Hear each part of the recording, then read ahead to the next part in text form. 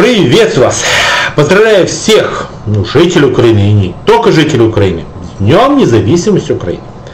И анонс моей статейки. Статейка довольно проста. Здесь перечислено 5, так сказать, успехов и 5 провалов ну, в экономике Украины за 26 лет. Почитайте, ссылочку я дам. Это мое мнение, ваше мнение может быть другим, но еще раз говорю, Поздравляю всех с Днем Независимости Украины. Надеюсь, вы хорошо проводите время, отдыхаете. Во всяком случае, я грех жаловаться. Удачи!